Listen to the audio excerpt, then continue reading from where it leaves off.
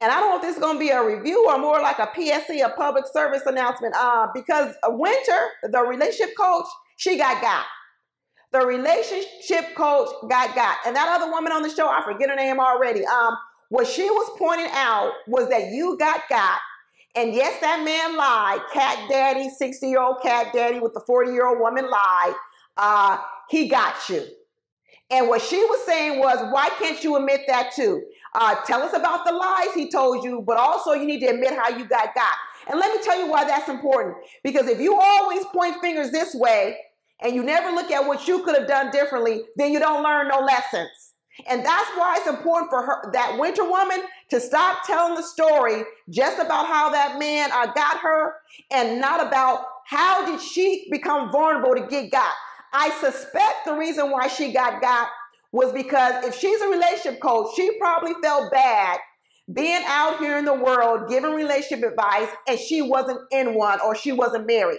Maybe she felt pressure, okay, to just go ahead and get married real fast after her first divorce. I don't know, so that she could still have some, I, I don't know, uh, credibility. But I'm not a type of person where I think you have to be that person to give advice, especially when it, be, when it comes to dating and relationships and, and everything else, because there are a lot of phases of relationships. There's the part where you learn how to attract a person or attract your mate. There's a part where you learn how to go from dating to marriage. There's a part where you have to learn how to sustain a marriage, sustain a relationship. There are various parts. And typically what you find is people aren't good at all, all the parts of the whole process. Some women are good at, at catching men or getting men or attracting men, but they're not good at re, uh, maintaining relationship. Some women are not good at learning how to attract a man, but they would be excellent in relationships. So typically people have problems in various parts of their uh, various parts in their whole relationship scale. Uh, but what Miss Relationship Coach uh, Winter has proven is there's also a part of the relationship process where it's called vetting the man, and she absolutely failed at that part. Absolutely. I'm with that other woman. It doesn't mean she can't be good at relationships, but the vetting process, uh, she didn't do what she needed to do. So I'm gonna fill in the gaps because I'm older than Winter, and I'm gonna tell you that that trick of um, I take care of my parents is one of the oldest lies in the book that a lot of men use out here on the street. So women, uh, let me give you a public service announcement. When you hear a man and he's living at home and he tells you, uh, I live with my parents, but I take care of my parents, you better ask some follow-up questions. One, you better do what that woman told Winter she should have done. You better go to the house and figure out uh, which bedroom is he in. Is he in the master bedroom or is he in some side bedroom? Because that right there tell you who's in charge. If you down in the basement or you in the side bedroom and the parents is in the master bedroom with attached master bath, uh, that means they paying the majority of the bill. Uh, second question, who's on the mortgage? Are you on the mortgage and your parents are paying you rent, or is it their mortgage and you giving the parents some money? Uh, that'll tell you the other thing. Who's whose name are the utilities in? Are the utilities in your name or the utilities in your parents' name? And you just giving some money towards the utilities. That'll tell you something else. You also need to be running background checks on people. You shouldn't just be accepting people's words out here. It only costs $30, $35 to run a background check on somebody. Uh, you need to run background checks on people before you marry them. You want to know if they have a criminal history, been in prison.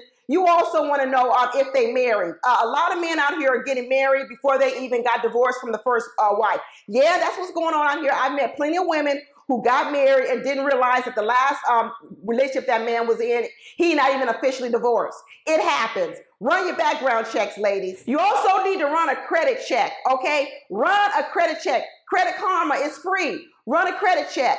You need to know what type of financial entanglements uh, your future spouse is in because you know what? You could be taking that on. You need to find out if they owe IRS money, student loan debt, anything. Run a credit check. It's free.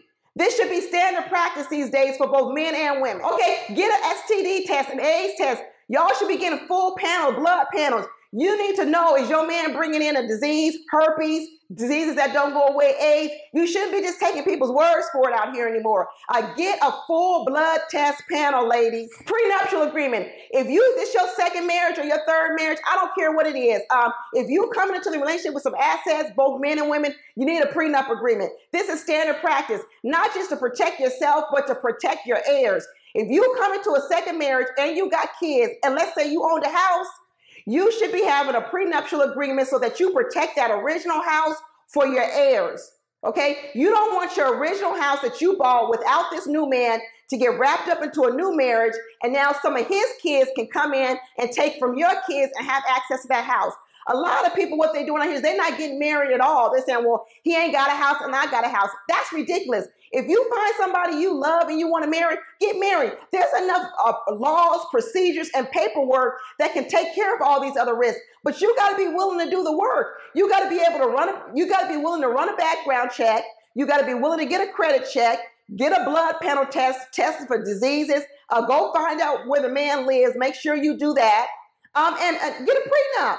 This stuff is simple. So, our relationship advisor, Winter, you failed in the vetting process, but no problem. I'm gonna pick up the slack for you here in this video. So maybe you just show this video to all your customers since you don't know how to vet no man when it comes to certain things, and then you can handle the rest of the relationship. Maybe how to attract the man, how to keep a man, how to act in a relationship. That's good. But you need some help in the vetting process, so I'm here to help you out. That's it, y'all. Talk to you later. Bye.